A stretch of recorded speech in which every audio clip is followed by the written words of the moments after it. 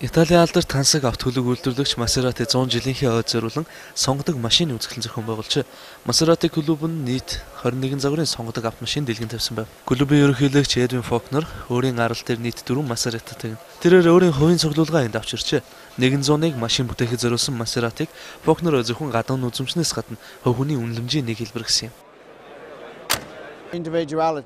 Энэ машин бол хувь хүн өөрийгөө хэрхэн үнэлдгийг илэрхийлэх зүйл. Тэрнээс биш зам дээр хэлбэрдэг зүйл биш юм шүү. Maserati хараад хүмүүс тэр болгон зааж жигж үг хийхгүй. Жишээ нь хүмүүс Rolls Royce явж байхыг хараад хөх Rolls Royce гэн. Эсвэл Ferrari хараад мэд. Харин Maserati явж байхыг харуул аваа энэ ямар машин юм бэ л гэж асуув.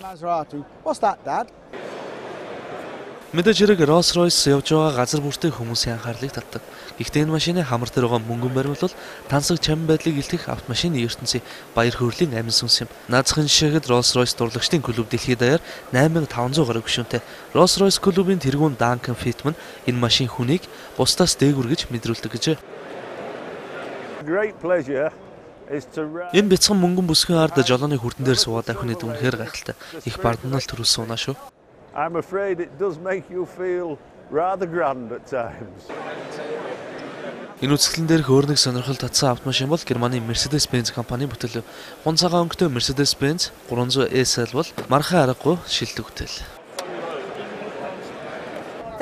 Энд дандаа хүмүүсийн унжаасан машинууд байгаа. Бүгдийг нь хэрэглэж илээсэн. Учир нь хүмүүс энэ сайхан машинуудыг гараажтай тавиад зүгээр харах гэж биш, унаж таашаал авах гэж авдаг юм. 300 SL бол сонгодог завруудын бодит илрэл. Энэ машины эзэн өнгөрсөн мегмар гарагт машина үзэсгэлэн тавихаар унж ирчээ. Түнчлэн тэрээр урд хавхлыг нээж хөдөлгүүрээ харуулахаас татгалзаагүй.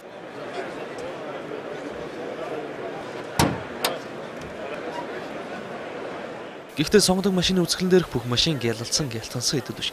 Гэхдээ ялцахгүй гэдэг нь онцгой гэсэн үгээс биш. Энд харагдаж байгаа машин бол 1953 оны Morris Minor. Хагас зууны хин нэгний идэлэн дээр илээсэн энэ машин нэгэнтээ Британийн зам дээр олон харагддаг байсан бол өдгөө шүтэн болж өнгөрсөн 6 дугаар сард Suffolk-ийн амбар дотроос олсон энэ машин өнөөдөр дэлхий дээр үлдсэн хамгийн хөгшин хоёр Morris Minor-ийн нэг юм. Дотор нь өв сургаж харахны оромжуулсан энэ машин тэр чигтээ зэвэрсэн байгаа хараад хөгшин гэж хэлэхэд залуудмаар. Гэтэл энэ хоосон хэрэггүй авсхийн хэрэгтэй гэж Майк Саржент харин энэ машиныг түүхийн үнэт зүйл учраас сонгодог машины үзэсгэлэн дээр авч иржээ. Хэдийгээр ийм сайхан машиныг эзэмшиж байгаа ч гэсэн дараа нь яах вэ гэдэг том асуулахаар зас янзлах уу эсвэл тэр чигээр нь хадгалах уу? Майкийн асуултынхаа хариултыг олоогүй л байгаагүйд нэгэн засаад эхлчихвэл буцаах ямар ч аргагүй гэсэн юм. Нэгд янзлахны дараа би юу гэж усааж чадахгүй хамгийн чухал нь энэ машин хамгийн анх ямар байсан өдийг хүртэл ямар зам туулсан гэдгийг харах гэж би бодчих. 685-гийн хин тон Morris Minry үйлдвэрийн дугаар бөгөөд Канадад байдаг 635 дугаартай нөгөө зөвөр нь үнээс арай хөгжин болж таарч байна. Ноён саржент энэ машинаа хичнээн мөнгөтүүлж авсан тухайга хэлэхгүй гэсэн бөгөөд эцээ эцэд өөрийнх нь ч биш гэсэн. Учир нь Morris Minor бол ирээдүйн хойчид уламжлалтан үлдэх домог юм байна.